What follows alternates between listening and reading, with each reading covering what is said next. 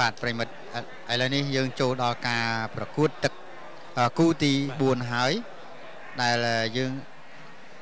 ទូរទស្សនិកជនជាទីគោរពនិងជាទីមេត្រីលោកអ្នកនាងកញ្ញាបានអញ្ជើញមកទស្សនាប្រកបដោយក្តីសប្បាយរីករាយពោពេញដោយស្នាមញញឹមទន្ទឹមនឹងបរិយាកាសដែលស្ថានីយ៍ទូរទស្សន៍អប្សរាពលិតមួយសហការជាមួយនឹងសហព័ន្ធកីឡាប្រដាល់កម្ពុជានាំមកជួលដោយ Nagavel បានជំរឿសនិងចម្រាញ់នៅគូល្អល្អកំដរអារម្មណ៍ទូរទស្សនិកជនមួយខែម្ដងនោះបាទហើយឥឡូវនេះយើងឈានចូលដល់គូប្រកួតអន្តរជាតិដែលជាគូទី4របស់យើង បាទហើយសូមគោរពអញ្ជើញកីឡាករដែលជាគូប្រកួតគូអន្តរជាតិទី4ឡើងទទួលកម្រងការកិត្តិយសពីគណៈអធិបតីបាទអរគុណចំពោះ Nagavel ដែលបានឧបត្ថម្ភគ្រប់គ្រងដល់កម្មវិធីរបស់យើងយើងខ្ញុំសូមគោរពអញ្ជើញផ្ដល់កិត្តិយសអាដាមយុទ្ធពុថងនិងអាដាមសៀនវិសុទ្ធផ្ដល់កិត្តិយសបំពាក់កម្រងការជូនចំពោះគូបណ្ដាលទី4របស់យើងសូមអបអរសាទរបាទបាទសូមអញ្ជើញកីឡាករបង្គោលខៀវបាទឡើងទទួលកម្រងការកិត្តិយស ហើយនេះគឺជាគូប្រដាល់អន្តរជាតិបាទទី4របស់យើងហើយហើយជម្រាបជូនថានៅខែក្រោយបាទកីឡាករយូស៊ូកេជនជាតិជប៉ុនបាទនឹងធ្វើការសងសឹកជាមួយកីឡាករសែនរ៉ាឌីសូមកីឡាករទាំងពីរទទួលកម្រងការកិត្តិយសពីគណៈធិបតីសូមសម្រាបអរសាទរបាទអរគុណចំពោះអាដាមយុទ្ធភូថនិងអាដាមស៊ីនវិសុទ្ធដែលបានផ្ដល់កិត្តិយសបំពាក់កម្រងការជូនចំពោះកីឡាករទាំងពីរ ទូរទស្សនិកជនដែលនិយមគ្រប់គ្រងដល់កម្មវិធីប្រកួតប្រដាល់របស់ទូរទស្សន៍អប្សរាផលិត1ថាខែក្រោយនេះយើងបានជំរឿននៅជើងខ្លាំងខ្លាំងពិសេសគឺអ្នកគុណនិយមសាមូរ៉ៃមកពីប្រទេសជប៉ុនដែលបានផ្ដល់នូវអនុស្សាវរីយ៍ឲ្យកីឡាករសែនរ៉ាឌីនៅប្រើកែងហើយឲ្យមានរបួសគៀបជាបានច្រើនខែនោះនឹងត្រូវជួបប្រកួតគ្នាម្ដងទៀតជាមួយនឹងកីឡាករសែនរ៉ាឌីនៅខែក្រោយនេះយើងសូមកុំភ្លេចទស្សនាជាមួយនឹងការប្រកួតនៅគូប្រកួត5គូសិតតែជាម្ចាស់ខ្សែក្រវ៉ាត់ទាំងអស់តែម្ដង ថ្ងៃក្រោយផ្ដល់ជូននូវភាពសប្បាយរីករាយដល់កាន់គ្រូទេសនិកជនទាំងអស់គ្នាកីឡាកររបស់យើងបានធ្វើដំណើរមកដល់សីវៀនប្រកួត ដែលបានទទួលកម្រងការកិត្តិយសពីអាដាមគណៈអធិបតីបាទហើយយើងនៅមានគូអន្តរជាតិមួយគូទៀតតែការទន្ទឹងរង់ចាំរបស់លោកនាងកញ្ញាតែងតែគិតថាសែនរ៉ាឌីជា Superstar ថ្ងៃនេះសែនរ៉ាឌីនៅតែបង្ហាញរូបបង្អួតរៀងបង្ហាញនៅគុណរបស់ខ្លួនជូនទូរទស្សនិកជនបានទស្សនាសារជាថ្មីម្ដងទៀតនៅក្នុងពេលបន្តិចទៀតនេះ ក្នុងឱកាសនេះខ្ញុំបាទសូមគ្រប់នឹងជម្រាបជូនអំពីជីវប្រវត្តិសង្ខេបខ្លះខ្លះរបស់កីឡាករទាំងពីរដែលកំពុងតែឈរទៅលើសង្វៀនរបស់យើងបង្គោលក្រហមមានអាយុ19ឆ្នាំ ជាកីឡាករមកពីសមាគមកីឡាប្រដាល់ក្រសួងកសិកម្មស្រុកកំណើតនៅភូមិ2ក្រុងខេមរៈភូមិន្ទខេត្តកោះកុងទម្ងន់58គីឡូក្រាម កម្ពស់1ម៉ែត្រ70ធ្លាប់ប្រកួតបាន43ដងឈ្នះ42ដងចាញ់1ដងមិនដែលស្មើធ្លាប់ដួលគូប្រកួតឲ្យសន្លប់ចំនួន16ដងប្រកួតលើកចុងក្រោយយកឈ្នះកីឡាករមកពីព្រះរាជាណាចក្រថៃគ្រូបង្វឹករបស់កីឡាករបង្គោលក្រហមគឺលោកគ្រូអេភូថងនិងលោកគ្រូងួននិតកីឡាករបង្គោលក្រហមថ្វាយបង្គំគ្រូតាមបែបរំលឹកគុណគ្រូ Welcome to the four international bouts of Khmer traditional boxing. The red corner, he came from Kokong province, Cambodia. He is 19 years old. His weight 58 kilogram. He stands for 1.70 meter. His record in 43 fights with 42 win, 1 loss and no draw. He from Ministry of Agriculture Club. His coach, Mr. A. Putong and Mr. Ngunat.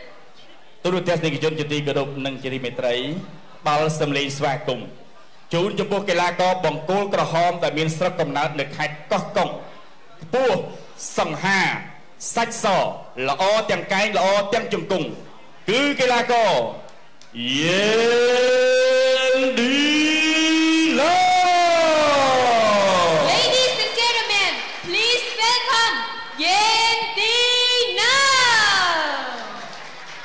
លខៀវអាយុ27ឆ្នាំ ជាកីឡាករមកពីព្រះរាជាណាចក្រថៃស្រុកកំណើតនៅព្រះរាជាណាចក្រថៃទម្ងន់58គីឡូក្រាមកម្ពស់1ម៉ែត្រ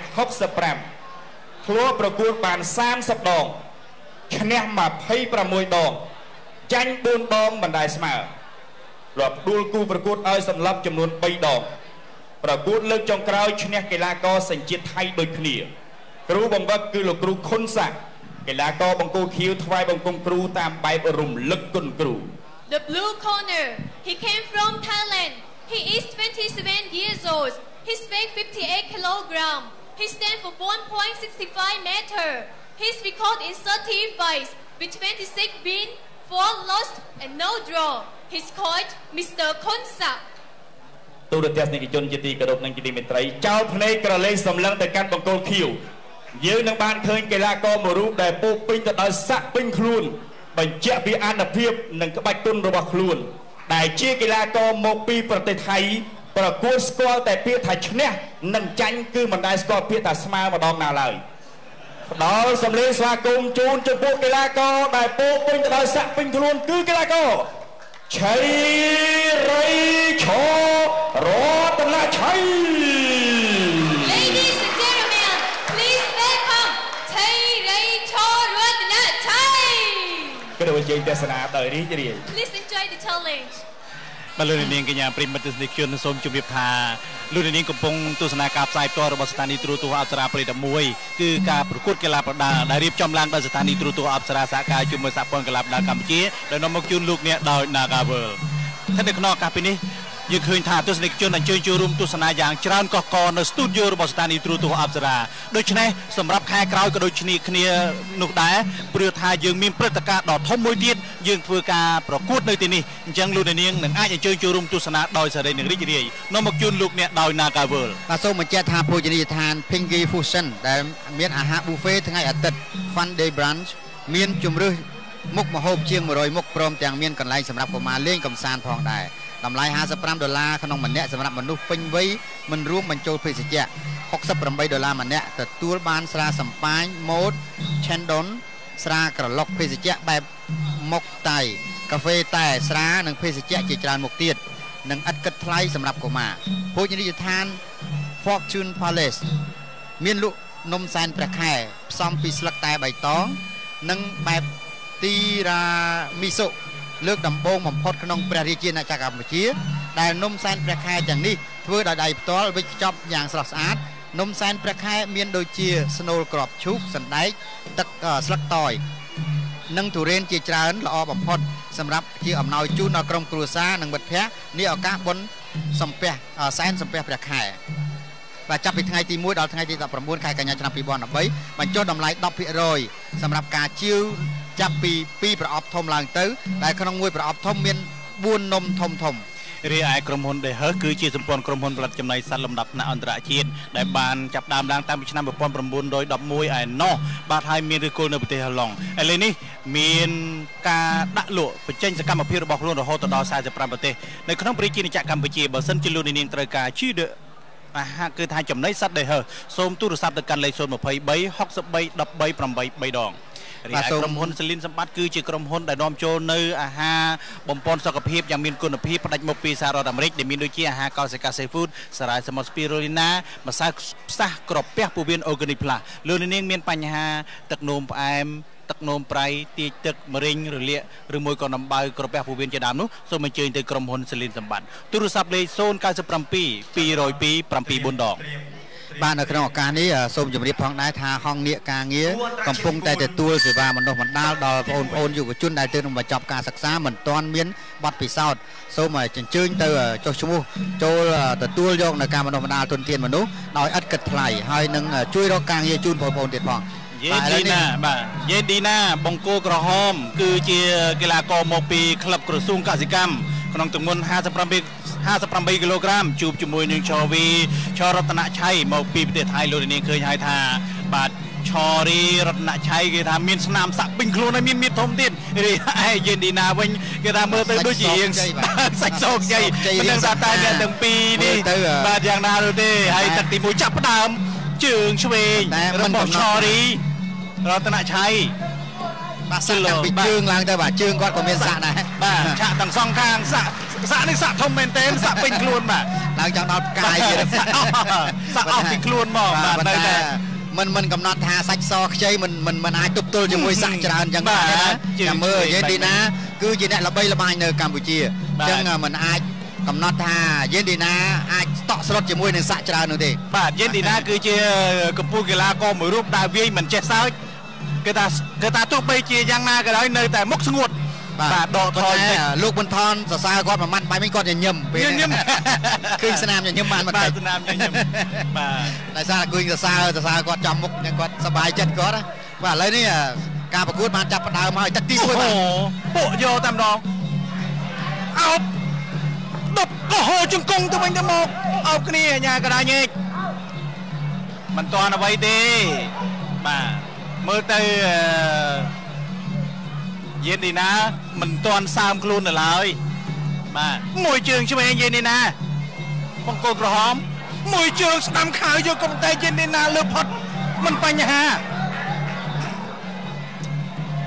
បាទសូមជម្រាបថាលោកអ្នកនាងអញ្ជើញចូលរួមទស្សនាដោយសេរីនិងរីករាយជាមួយយើងខ្ញុំ នៅស្ទូឌីយោស្ថានីយ៍ទូរទស្សន៍អប្សរានៅខាងជើងផ្សារបឹងកេងកងលោកអ្នកនាងមិនពិបាកទេបើសិនជាលោកអ្នកនាងអញ្ជើញមកទស្សនានៅទីនេះផ្ទាល់ឬមួយក៏លោកអ្នកនាងកំពុងតែទស្សនានៅមុខកញ្ចក់ទូរទស្សន៍នៅតាមគេហដ្ឋានក៏កំពុងតែគ្រប់គ្រងរីឯបងប្រុសយឹមពិសិដ្ឋដែលបងបំពេញការងារនៅអាជ្ញាធរគិសនីនឹងបងក៏កំពុងអង្គុយមើលដែរហើយអឺលោកថាលោកពេញចិត្តចំពោះការរៀបចំ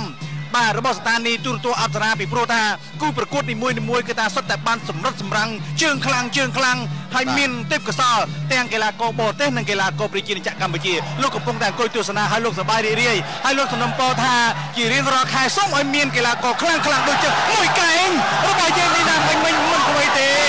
បាទចូលរីងក់ក្បាលដាក់ជលោអីយ៉ាចេញក្បាច់ឆ្លាតដាក់បាទឌឺឲ្យយើងចូលរីទៀត បាទនេះគឺមកធ្វើឲ្យឲ្យចាប់ព្រាមិត្តមានចូលរីកាយទប់យកអោបគ្នាអោបជាប់អញ្ញាតាកំពុងតែមនិតមើលញែកអូហូស្នូចាស់ដៃហូរទៅជាកងកំពងចាប់ទឹកទី1ទី1នោះមកជូនលោកអ្នកដោយ ណាកាវើ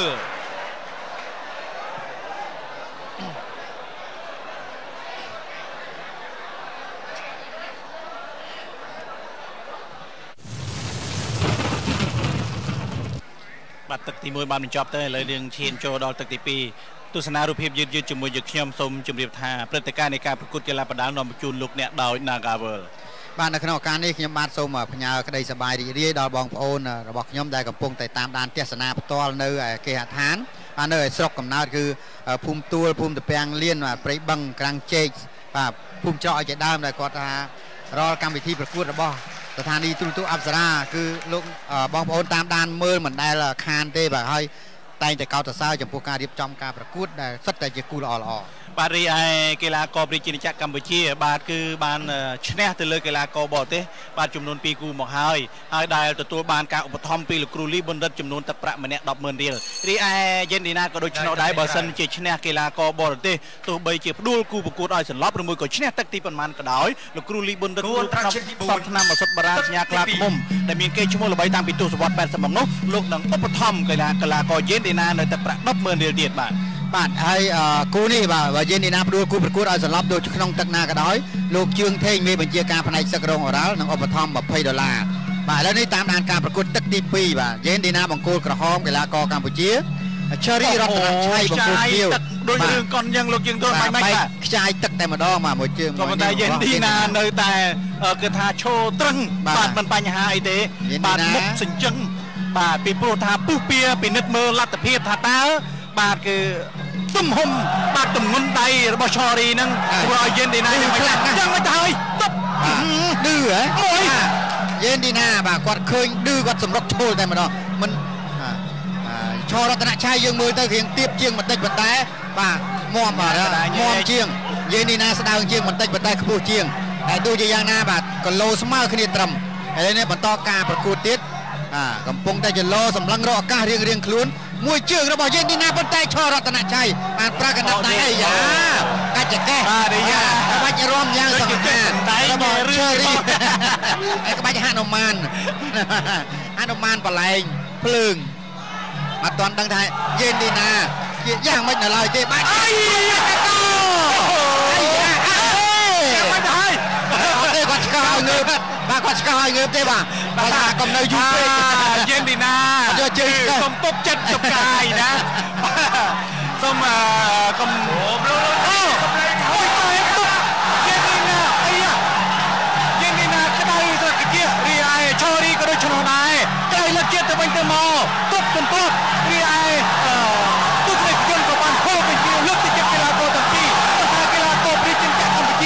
ក៏បានហូបទៅជាលើកទឹកចិត្តកីឡាករទាំងពីរប៉ុន្តែកីឡាករប្រជាជាតិកម្ពុជានិងកីឡាមកពីប្រទេសប្រទេសថៃទេគឺថាហូរសន្ធប់តែម្ដងហើយកីឡាករទាំងពីរក៏ពីបទប់សន្ធប់ទៅលើគ្នាដែររហូតដល់អាញាកដាញែកបាច់ចេញពីគ្នា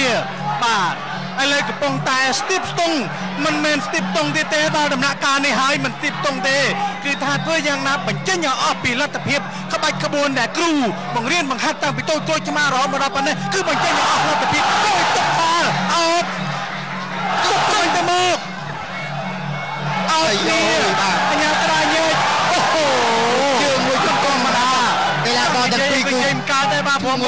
មគាត់ជាប់មិញហើយបាទគឺធ្ងន់ធ្ងរមែនតើបាទបន្តការប្រកួតទៀតមួយមួយកាច់អប់ជាប់ហើយយើងនេះណាកិច្ចផុតជើងកងកាច់ផ្ដួលតែអត់ទេរឹងដូចគ្នាបាទមិនបានទេបាទកីឡាករទាំងពីរនេះពិតជាចំហរឹងមាំមែនទែនយើងទីណាសម្រុកចូលអោបជើងកងជើងកងហឹមអញ្ញាកដាលបាទលោកនួនធុនសុភាបាទញែកឲ្យចូលកណ្ដាលបន្តការប្រកួតទៀតបាទ លោកបណ្ឌិតតាំងណាំស្រុនដែលកំពុងទស្សនានៅទីនេះក៏លោកថាបើយើងទីណាលោកគឺប្រកួតឲ្យស្លាប់លោកក៏បឋម100,000រៀលបាទចប់ទឹកទី2នាំមកជូនលោកអ្នកដោយ Nagavel បើស្នេហ៍បាទកញ្ញាគឺអមិញមិញអឺមើលរូបចាប់ទៅភាពយឺតៗរូបភាពយឺតយឺតៗទាំងអស់គ្នា មួយកែងរបស់មង្គលខៀវក៏ប៉ុន្តែមិនធ្វើទេយើងនេះណាកិច្ចផុតអរគុណណាស់ព្រឹត្តិការណ៍នៃការប្រកួតកីឡាប្រដាល់របស់ស្ថានីយ៍ទូរទស្សន៍អប្សរានាំមកជូនលោកអ្នកដោយ Nagavel បាទនៅក្នុងឱកាសនេះខ្ញុំបាទសូមជម្រាបថាបងប្អូនអ្នកទស្សនានៅឯខេត្តសៀមរាបបាទកំពុងតែជក់ចិត្តដិតអារម្មណ៍បានប្រកាសថានឹងឧបត្ថម្ភបាទឧបត្ថម្ភកីឡាករយេនឌីណាចំនួន20ដុល្លារដែលប្រាក់នេះអឺកីឡាករយេនឌីណាអញ្ជើញទៅបើកផ្ទាល់ពីលោកបណ្ឌិតតាំងណាំស្រុនហើយពេលនេះលោកបណ្ឌិតតាំងណាំស្រុនក៏កំពុងតែទស្សនាផ្ទាល់នៅទីនេះផងដែរ បាទចំណែកលោកអ្នកនាងបងប្អូនប្រជាពលរដ្ឋដែលនិយមចូលចិត្ត smartphone គឺ Samsung និង iPhone គ្រប់ផលិតផលនិងគ្រឿងបន្លាស់ iPhone និង Samsung មានលក់នៅហាងទូរស័ព្ទដៃ Seven Star ដែលមានអាសយដ្ឋានផ្ទះលេខ A20 ផ្លូវ215ចម្ងាយពីស្តុបផ្សារដេប៉ូ100ម៉ែត្រលោកអ្នកនាងទិញនៅហាងយើងខ្ញុំនឹងធ្វើការជួសជុលជូនព្រមទាំងបញ្ចូលប្រូក្រាមដោយមិនគិតថ្លៃទូរស័ព្ទលេខ016 017 789 6 3ដងបាទនៅក្នុងខណៈពេលនេះ ខ្ញុំបានជួបមុខឲ្យកីឡាករយេនឌីណាសូមថ្លែងអំណរគុណចំពោះអាយដាមបណ្ឌិតសភាចាសុកអាហើយបាទនាយករដ្ឋមន្ត្រីរដ្ឋមន្ត្រីទទួលបន្ទុកទីស្តីការគណៈរដ្ឋមន្ត្រីឧបត្ថម្ភទឹកប្រាក់ចំនួន100ដុល្លារដល់កីឡាករយេនឌីណាសូមអបអរសាទរបាទកំពុងតែពុះកញ្ជ្រោលបាទឥឡូវនេះបន្តការប្រកួតទៀតបាទជ្រៀតនៅក្នុងអរគុណចំពោះអាសៀមនិស្សិតអគ្គនាយកស្ថានីយ៍វិទ្យុទូរទស្សន៍អក្សរា ឧបត្ថម្ភទឹកប្រាក់50ដុល្លារដល់កីឡាករយេនឌីណាបាទអបអរសាទរបាទបងប្អូនដែលកំពុងទស្សនានៅឯខេត្តសៀមរាបក៏បានឧបត្ថម្ភ20ដុល្លារផងដែរហើយប្រាក់នេះនឹងបើកផ្ទាល់ពីលោកនៅតាមណាំគុណបាទការប្រកួតកំពុងតែពុះកញ្ជ្រោលហើយទឹកទី4បាទយើងយើងណាបាទកំពុងតែបង្ហាញពីភាពអង់អាចក្លាហានរបស់ខ្លួនទល់ជាមួយនឹងជើងខ្លាំងដែលសម្បូរដោយសាក់បាទបើសិនជាយើងនេះណាគួរគូប្រកួតឲ្យចន្លោះគូប្រំទឹកណាក៏ដោយបាទ នឹងបានការឧបត្ថម្ភពីលោកជើងថេងមានបញ្ជាការផ្នែកសឹករងអូរ៉ាល់ចំនួន20ដុល្លារបាទឥឡូវនេះយេនឌីណាកំពុងតែសម្រុកឱកាសចន្លោះដើម្បីវាយសម្រុកមួយជើងស្ដាំរបស់យេនឌីណាបាទឈើរីរតនឆៃឆរតនឆៃរបស់កីឡាករថៃបាទយេនឌីណាចូលប្រើកណាប់ដៃឆ្វេងស្ដាំដែរឈើរីក៏សងវិញដែរអោបជង្គង់អោបជាប់ហើយជង្គង់ជង្គង់ជង្គង់មកអាញាកណាលលោកធុនសុភាញែកចេញពីគ្នាបាទ ជឿថាបងប្អូនដែលកំពុងតែទស្សនានៅតាមគេដ្ឋានកំពុងតែជក់ចិត្តដិតអារម្មណ៍បាទពិសេសបងប្អូនខ្ញុំនៅឯភូមិតាពាំងលៀនភូមិទួលភូមិច្រកព្រៃបឹងតាពាំងលៀនស្រុកឧដុង្គខេត្តកំពង់ស្ពឺបាទឥឡូវនេះបាទចាប់ផ្ដើមអឺក្តៅសាច់ទៀតហើយបាទអាញាកណាលទាញចូលកណ្ដាលបាទបន្តការប្រកួតបាទយេននីណាពិតជាអង្គអាចក្លាហានបាទមិនខ្លាចសាក់របស់ឈើរីរតនឆៃនោះទេបាទចូលសម្រាប់ចូលជង្គង់អាចផ្ដួល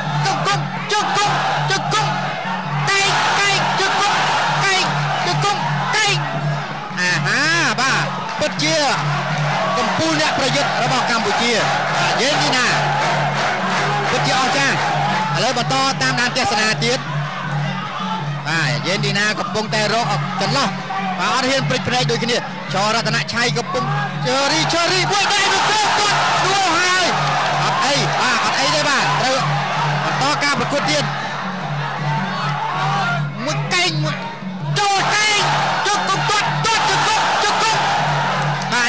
គាត់យ៉ាងម៉េចបាទរតនជរីសម្លឹងបាទ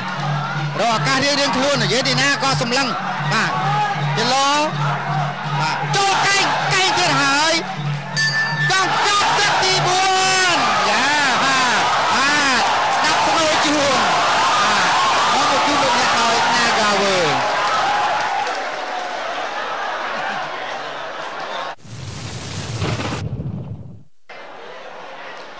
បាទប្រិមិត្តទូទស្សនិកជនឥឡូវនេះការប្រកួតបាទនេះមើលរូបភាពយឺតយឺតទឹកទី3អំបញ្ញមិញបាទយេនឌីណាកំពុងតែបាទសម្រុកបាទសម្រុកហើយសម្រុកទៀតបាទពិតជាអស្ចារ្យមែនទែនបាទគូនេះប្រសិនបើយេនឌីណាផ្ដួលគូប្រកួតឲ្យសន្លប់ទៅក្នុងទឹកណាក៏ដោយលោកជើងថេងមានបញ្ជាការផ្នែកសឹករងអូរ៉ាល់និងឧបត្ថម្ភ20ដុល្លារហើយយេនឌីណាក៏បានទទួលការឧបត្ថម្ភនៅពេលនេះគឺអាយដាមបណ្ឌិតសភាចាសុកអាន ឧបនាយករដ្ឋមន្ត្រីរដ្ឋមន្ត្រីទទួលបន្ទុកទីស្តីការគណៈរដ្ឋមន្ត្រីឧបត្ថម្ភយេនឌីណា100ដុល្លារអាយដាមសៀនវិសុទ្ធអគ្គនាយកស្ថានីយ៍វិទ្យុនិងទូរទស្សន៍អប្សរាឧបត្ថម្ភកីឡាករយេនឌីណា50ដុល្លារដោយទឹកចិត្តលោកមនិតតាំងណាំស្រុនបានឧបត្ថម្ភយេនឌីណា20ដុល្លារ អ្នកទេសនានៅឯខេត្តសៀមរាបឧបត្ថម្ភពួនត្រជាតិទីអឺយេនឌីណា20ដុល្លារដែរដែលថវិកានេះទៅបើកនឹងផ្ទាល់ពីលោកបណ្ឌិតតាំងណាំស្រុនដែលកំពុងទេសនានៅទីនេះបាទសម្រាប់អឺលោកអ្នកនាងដែលចូលចិត្ត iPhone និង Samsung សូមអញ្ជើញទៅហាង Seven Star លក់ទូរស័ព្ទដៃដែលមានអាស័យដ្ឋាននៅផ្លូវ A20 បាទផ្ទះ A20 ផ្លូវ215ផ្សារដេប៉ូចម្ងាយពីស្តុបផ្សារដេប៉ូចម្ងាយ100ម៉ែត្របើលោកអ្នកនាងទិញទូរស័ព្ទដៃនៅហាង Seven Star បាទនឹងមានធ្វើការជួយជួយជូនព្រមទាំងបញ្ចូលប្រូក្រាមដោយមិនគិតថ្លៃទូរស័ព្ទលេខ016 017 789 6 3ដង088 9ដង036បាទជាមួយយេនឌីណាបាទឌឺមិនបានទេគឺឌឺចូលដល់ព្រាមតែចូលហើយកែងស្រួចបាទអញ្ញាកណាលោកធុនសុភាបាទញែក ឲ្យប្រកួតបន្តការប្រកួតទៀតបាទជាកណ្ដាលគុំជួយដូចយើងបានគិតទុកមែនបាទឥឡូវនេះយេនឌីណាកំពុងតែរកឱកាសដើម្បីផ្ដួលកីឡាករថៃ Cherry រតនឆៃដែលសម្បូរដោយសាក់បាទសាក់តាំងពីជើងរហូតដល់កញ្ចឹងកបាទពេញទាំងអស់តែម្ដងបាទ Cherry រតនឆៃក៏មិនធម្មតាដែរជាកីឡាករជើងខ្លាំងមកពីប្រជាណាចក្រថៃប៉ុន្តែទោះជាយ៉ាងណាបាទយេនឌីណាក៏មិនអឺ មិនមែនតក់ស្លុតជាមួយនឹងសាក់ច្រើននោះទេបាទយេនឌីណាសម្រុកចូលហើយជឹកជឹកគង់ជឹកគង់គង់គង់បាទឆូរីដួលជាញឹកញាប់បាទយេនឌីណាមិនទាន់ដួលម្ដងនៅឡើយទេបាទដល់ការប្រកួតមួយជើងរបស់យេនឌីណាមួយជើងទៀតហើយឌីណានៅតែមានព្រៀបបាទហើយចំណែកលោកពូវិចិត្រអភិបាលស្រុកមង្គលបុរីបាទបាទឧបត្ថម្ភ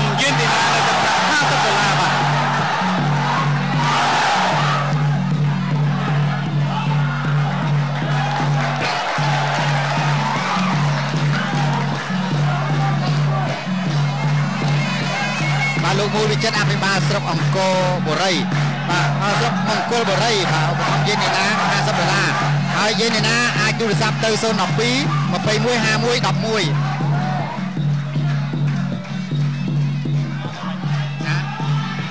េះអានតែលេខអានលេខទូរស័ព្ទឯងមិនឲ្យគេទេតា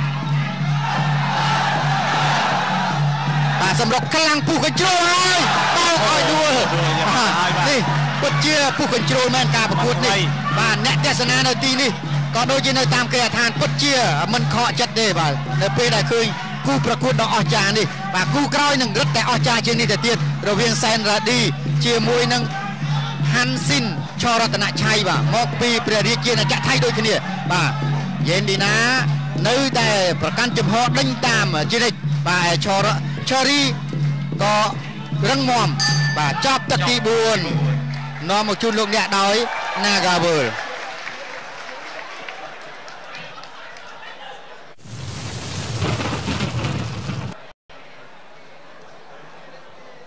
បាទឈាននៅក្នុងឱកាសនេះខ្ញុំបាទជួបមុខឲ្យកីឡាករយេនឌីណាសូមសូមទស្សនារូបភាពយឺតៗជាមួយយើងខ្ញុំបាទអូរដ្ឋមន្ត្រីទទួលបន្ទុកទីស្តីការគណៈរដ្ឋមន្ត្រីគឺថាយេនឌីណាគឺវាយសម្រុកទៅលើបង្គោលខៀវខ្លាំងមែនទែនបាទព្រឹត្តិការណ៍នៃការប្រកួតកម្មវិធីកីឡាផ្ដាល់របស់ស្ថានីយ៍ទូរទស្សន៍អស្ចារ្យនាំមកជូនលោកអ្នកដោយ Nagavel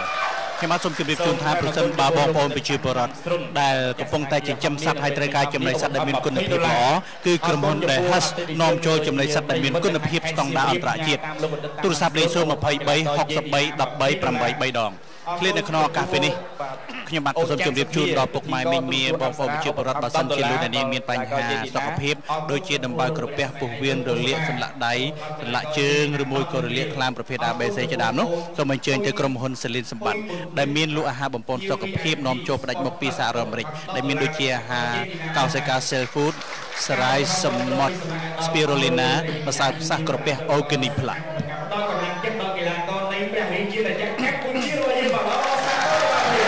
លោកអ្នកនាងដែលនិយមចូលចិត្ត iPhone និង Samsung សូមអញ្ជើញទៅហាងលក់ទូរស័ព្ទដៃ Seven Star គ្រប់ផលិតផលនិងគ្រឿងបន្លាស់ iPhone និង Samsung មានលក់នៅហាង Seven Star លក់ទូរស័ព្ទដៃអាស័យដ្ឋានផ្ទះលេខ A20 ផ្លូវ215ផ្សារដេប៉ូចម្ងាយពីស្តុបផ្សារដេប៉ូ100ម៉ែត្រប៉ុណ្ណោះលោកអ្នកនាងទិញទូរស័ព្ទនៅហាងទូរស័ព្ទដៃហាង Seven Star ទូរស័ព្ទលេខគឺមានការជួសជុលព្រមទាំងបញ្ចូលប្រូក្រាមដោយមិនគិតប្រាក់ ទូរស័ព្ទលេខ016 017 789 6 3ដង088 94ដង036បាទឥឡូវនេះតាមដានទស្សនាការប្រកួតទឹកទី5ដែលជាទឹកចុងក្រោយបាទអំបញ្ញមិញបាទនៅនេះពេលនេះមួយជើងទាត់អាយ៉ូទាត់រំលងអាកាសតែម្ដងបាទឈរឈររតនឆៃឈេរីគាត់អោនផុតអឺយេនីណាទាត់មួយជើងអំបញ្ញមិញបើគិចមិនផុតអាចមានបញ្ហាបាទបន្តការប្រកួតទៀត បាទសូមបញ្ជាក់ថាការប្រកួតនេះយើងបានទទួលកោបឋមពីសន្តាគារ Nagavel ជាមួយគ្នានេះបងប្អូនបាទអំបញ្ញមិញបងបងប្រុសខ្ញុំនៅក្រាំងជែកបាទសាក្រាំងជែកស្រុកឧដុង្គហ្នឹង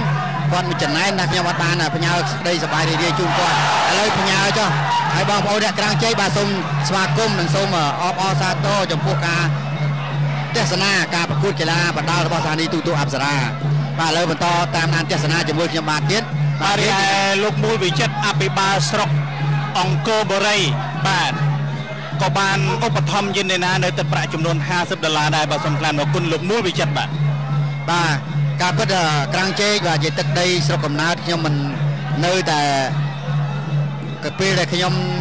ទៅលេងស្រុកគឺខ្ញុំមិនដែលភ្លេចទេគឺទៅចូលទឹកដីផ្សារក្រាំងជែករហូតបាទប៉ុន្តែឥឡូវនេះបន្តតាមដានទស្សនាជាមួយខ្ញុំព្រោះការប្រកួតពេលនេះកំពុងតែអឺក្តៅពុះកញ្ជ្រោលចុងទឹកទៅហើយបាទជើរីកំពុងតែហោះកញ្ឆេងប៉ុន្តែយើងនេះណាក៏មិនធម្មតាបាទអត់ជាប់អាញាកណាលោកធុនសុភាអតីតជើងខ្លាំងបាទក្នុងទសវត្ស90កំអឺជាធ្វើជាអាញាកណ្ដាលអា យេនីណាចំពោះកីឡាករយេនីណាយេនីណាក៏កម្មវិធីបើសិនជាឈ្នះគូប្រកួតរបស់ខ្លួនទោះបីជាទឹកទីប៉ុន្មានក៏ដោយលោកគ្រូលីប៊ុនរិទ្ធគ្រូផ្សំឆ្នាំអសុតបារានសញ្ញាខ្លាមុំនិងឧបត្ថម្ភយេនីណានៅទឹកប្រាក់10មិនរៀលបន្ថែមបាទអាយ៉ាងម៉េចលោកគ្រូលីប៊ុនរិទ្ធគឺជាគ្រូ Cherry បាទបារានសញ្ញាខ្លាមុំដែលមានកេរ្តិ៍ឈ្មោះល្បីតាំងពីទសវត្សរ៍80មកនោះជាកីឡាករថៃបាទគាត់ចេញស្នៀតពិសេសពិសេសច្រើនណាស់ប៉ុន្តែយេនីណានៅតែមិនតក់ស្លុតទេគាត់ទប់ទល់បានគ្រប់ស្នៀតទាំងអស់បាទជេរីបាទឌឺទៀតហើយ បាទយេនីណាយ៉ាងម៉េចបាទជាក្បាច់ស្វឹងរបស់ជេរីបាទជេរីគាត់ចេញក្បាច់មិញដោយក្បាច់ស្វឹងចាប់ផ្ដួលតែម្ដងយ៉ាងម៉េចអាយ៉ាអាយ៉ាបាទឌឺទៀតមិនបញ្ហាបាទយេនីណាទោះបីយ៉ាងណាបាទជេរីគាត់ថាអត់ឈឺបាទចាញ់ក្បាច់ពិសេសពិសេសមករៀបរយចង់ឆ្ងល់បាទធ្វើតែក្បាច់ស្វឹងតែម្ដងចាប់ជាប់ទៀតហើយអូទៅទៀតយ៉ាវិញជេរីស្វឹងទៀតអត់បាទជាអត់អីទីណាវិញដូចជាមិនមិន គេថាដូចនៅបង្ងើយនៅឡើយលោកជាជួនបាទរឹងមាំដូចគ្នាបាទទឹកទី5ហើយគូនេះបើវាយ10ទឹកក៏អត់បញ្ហាដែរបាទតាមមើលយ៉ាងមិនទៅហើយ បាទទឹកទី5គឺជាទឹកដាច់ព្រាត់បាទឆ្លៀតក្នុងឱកាសពេលនេះខ្ញុំបាទក៏សូមជម្រាបជូនលោកអ្នកនាងបងប្អូនពុកម៉ែមីមីថាប្រសិនបើលោកអ្នកនាងមានបញ្ហាជំងឺផ្សេងផ្សេងសូមអញ្ជើញទៅក្រុមហ៊ុនសលីនសម្បត្តិដែលមានអាហារបាទចោលទឹកទី5បាទហើយចូលផ្ដាច់មុខពីសហបាទរដ្ឋយើងអាមេរិកដូចជាអាហារកោសិកា Cell Food សារាយសមុទ្រ Spirulina ម្សៅផ្សះក្រពះក្រពះពោះវៀន Organic Plus បាទទាំងនេះលោកអ្នកនាងអាចអញ្ជើញទៅបាទក្រុមហ៊ុនសលីនសម្បត្តិបានឬមួយក៏លោកអ្នកនាងអាចទូរស័ព្ទទៅកាន់លេខ097 338 7 4ដងបាទឥឡូវយើងរងចាំអឺមើលដល់លទ្ធផលនៃការប្រកួតយ៉ាងណាអឺយើងខ្ញុំសូមបញ្ជាក់ថានៅក្នុងការប្រកួតនេះភោជនីយដ្ឋានអឺ Pinky Fusion មានអាហារ buffet សម្រាប់ថ្ងៃអាទិត្យ Fun Day Brunch មានបម្រើជំរឿនមុខម្ហូបជាង100មុខព្រមទាំងមានកន្លែងសម្រាប់កុមារលេងកម្សាន្តទៀតផងអាតម្លៃ50ដុល្លារក្នុងម្នាក់សម្រាប់មនុស្សពេញវ័យមិនរួមបញ្ចូលភេសជ្ជៈតម្លៃ68ដុល្លារម្នាក់មានទទួលបានស្រាសម្ប៉ាញ់ម៉ូ ខុនដូត្រាក្រឡុកភេសជ្ជៈបែប